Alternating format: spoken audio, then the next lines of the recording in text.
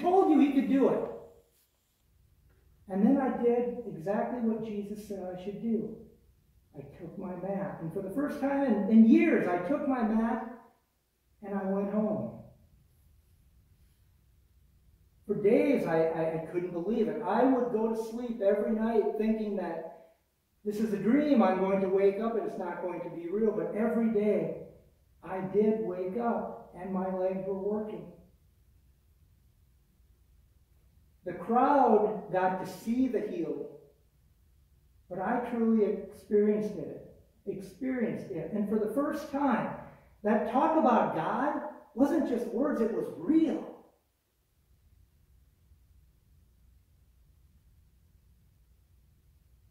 I experienced something there on that floor. Now, you know the story of Jesus. He died, he went to the cross, he died, he was risen again to save your sins.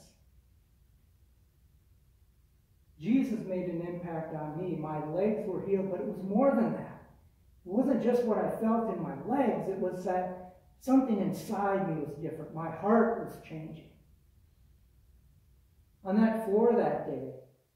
My life was definitely changed. My legs were healed, but that wasn't the, the main part. That was significant, but my heart had changed. My heart had changed in a way that I didn't know was possible. My life would forever be changed from that moment.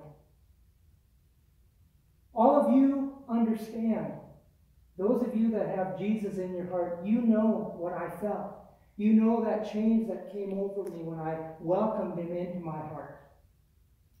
If you haven't done that, I strongly tell you that you should to experience that. And if you know those people that have not yet called Jesus into their heart, tell them to do so. Because while healing my leg certainly was impactful, the change in my heart is what was significant. And thanks be to God for that. Amen.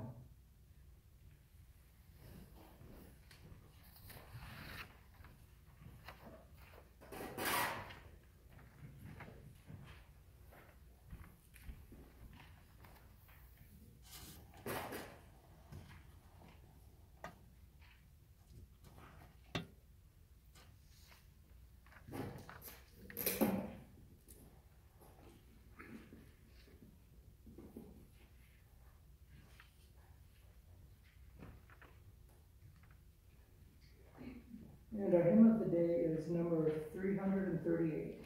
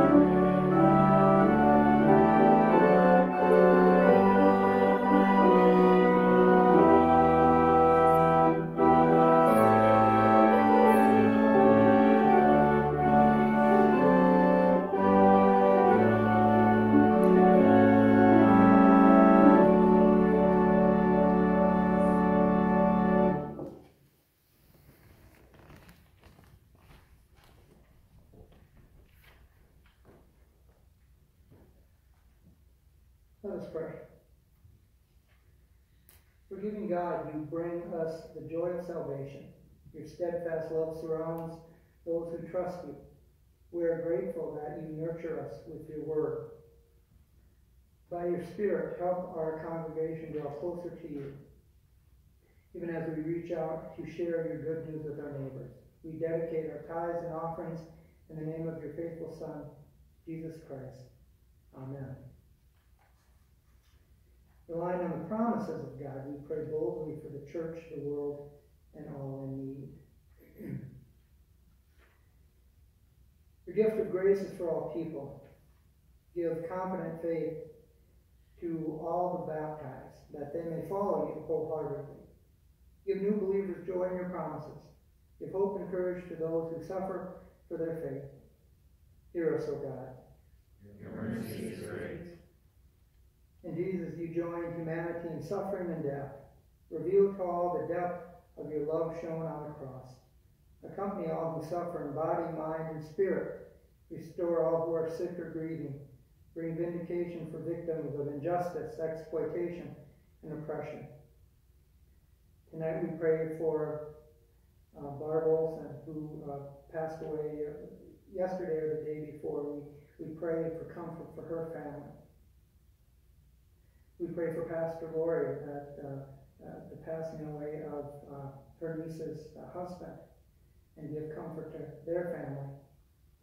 We pray, we continue to pray for Elaine Curry, Chris Hansen, Bruce Garrels, Mike Edwards, Wendy Lusfield, John Lusfield, Carl Lusfield, Kelly Johnson, Holly Miller, John Daniels, Daryl Swan, Jane Hanson, Jody Reese, Corey Van Allen, Roseanne Sloan, Randy Schumacher, Helen Brinks, Joyce Larson, Diane Peterson, Doug Christensen, and we pray for all those that we name now in the silence of our hearts.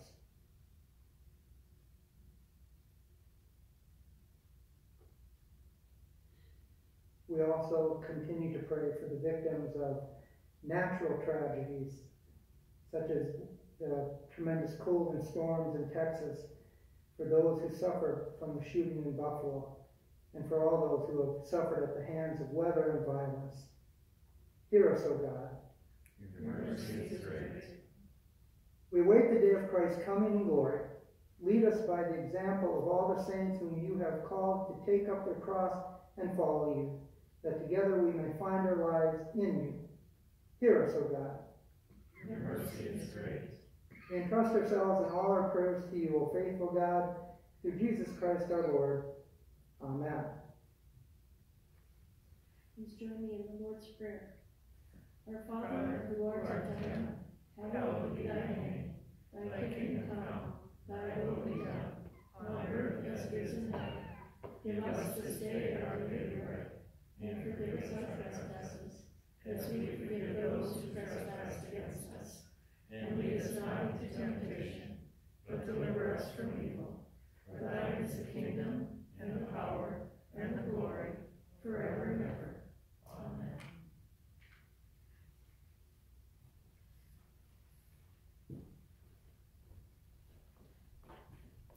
So in the love of God the Father, and the grace of Jesus the Son, and by the power of the Holy Spirit, may you go in peace. Go in peace to love and serve the Lord someplace else. We will. Thanks be to God.